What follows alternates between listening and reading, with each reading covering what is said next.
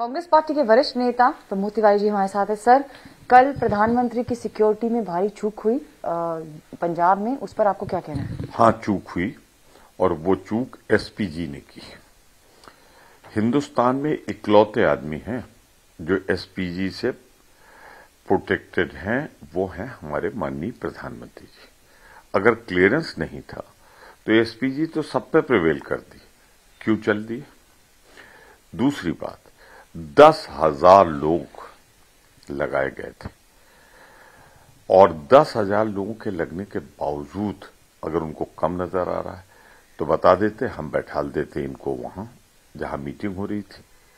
तो संख्या भी हो जाती और आप बोल भी लेते। तो अगर आपके पास भीड़ इकट्ठा नहीं कर पाए, क्योंकि भाजपा वहाँ पिछले तीस चालीस साल से अकाली दल के भरोसे थी। अब अकाली दल अलग हो गया है।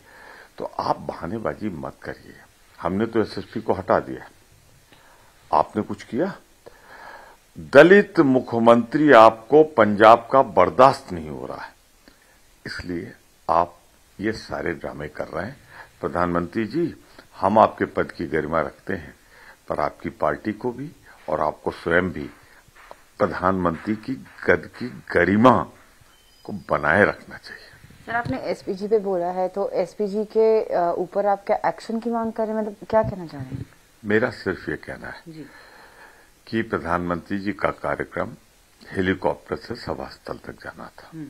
सारे वीडियो जा गए वहाँ भीड़ नहीं थी अज्ञात कारणों से उन्होंने बाई रोड चलने को कहा है हम एसपीजी प्रोटेक्टरी राजीव जी के साथ हम्म। राजीव जी को तो नहीं मिली थी उसके बाद मिली नरसिंह राव जी के साथ मनमोहन सिंह जी के साथ हमने कई यात्राएँ की।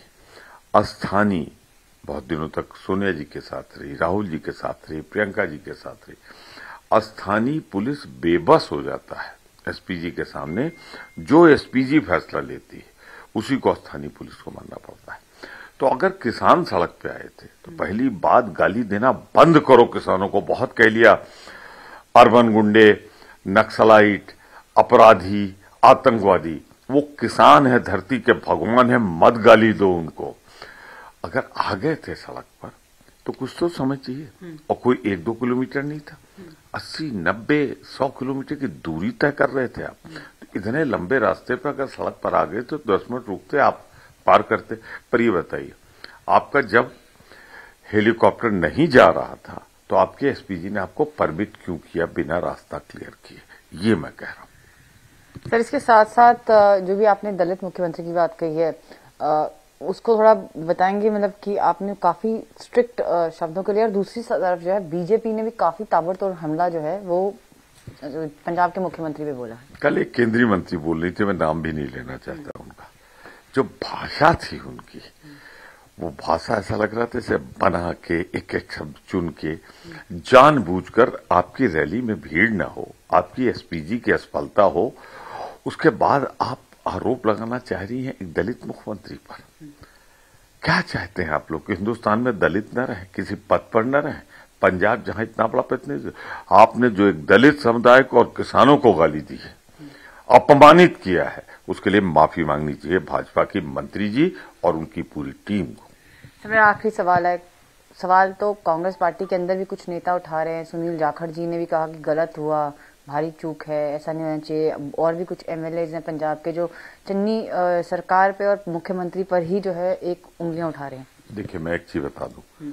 प्रतिक्रिया जो दी जाती है, तथ्यों पे दी जाती है। उस समय तक जो प्रतिक्रिया दी गई होगी, वो उस समय तक मिले तथ्यों पर आधारित नहीं होगी। बाद में पता लगा कि प्रधानमंत्री जी का कार्यक्रम बदल गया, उनको तो हेलीकॉप्टर जाना था, बाई रोड जाने का फैसला किया। अच्छा फिर किसान तो प्रधानमंत्री जी के पास दूर दराज तक नहीं आए। वो सिर्फ़ सड़क पे आए थे। और प्रधानमंत्री जी का कारवा तो बहुत दूर था, खुद प्रधानमंत्री जी। वो जाती है आगे सिग्नल और अलर्ट, ये इन गाड़ियों को दिखा। तो उसमें कैसे प्रधानमंत्री जी ने अपने पद की गरिमा का ध्यान न रखते हुए मुख्यमंत्री जो दलित सीधे उसको कह दिया कि अपने मुख्यमंत्री को धन्यवाद दे देना। मेरी जान बच गई। आपको, मुख्यमंत्री को नहीं। अगर कहीं चूक थी तो पुलिस या प्रशासन कहना चाहिए था महोदय आप भारत के प्रधानमंत्री हैं, भारतीय जनता पार्टी के अध्यक्ष नहीं। तो ये थे प्रमोद तिवारी हमसे बात करते हुए, कैंपस अभिषेक के साथ में भारद्वाज आज तक दिल्ली।